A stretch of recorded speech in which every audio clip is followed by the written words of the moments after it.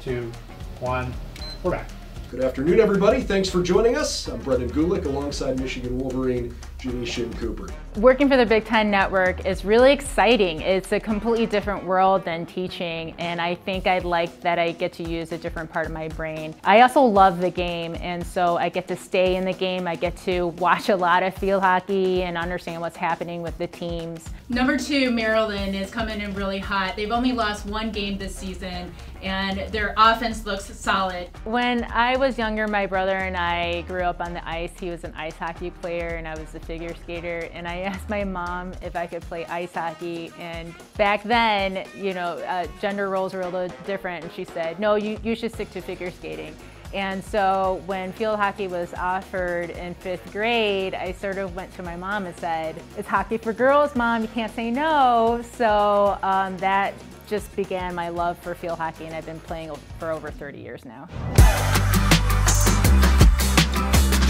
I played all four years at Michigan. I started my sophomore year, so I was a three-year starter, and I was all Big Ten, all West Region, won two Big Ten championships there and also the first University of Michigan team to go to the Final Four and also play in the national championships.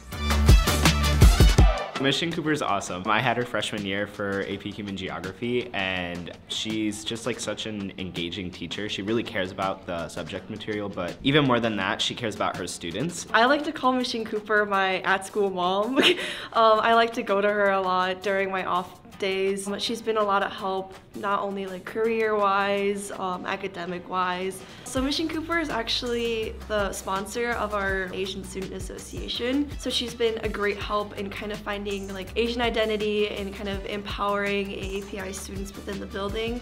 It's super cool to see Ms. Shin Cooper on the Big Ten Network. She was so excited. I remember freshman year when she started doing it, she was so excited. She came into our classroom telling everybody about it. You could tell that it's something that, like her students, she was ready to put her entire work ethic into and seeing her able to do that in addition to teaching makes me believe that I can do that in the future as well and not just be stuck in one spot. The main reason that I am a teacher is for the relationships. I'm committed to the classroom. I don't ever see myself leaving the the classroom and that's because I've met some incredible people and uh, when I was little I didn't really see a whole lot of faces that looked like mine on TV and I feel like that's one of my motivating factors is I want other youth, other people to see a face like mine on TV in sports. I think it can be pretty inspirational and I've, I've gotten feedback about that and that's what keeps me going.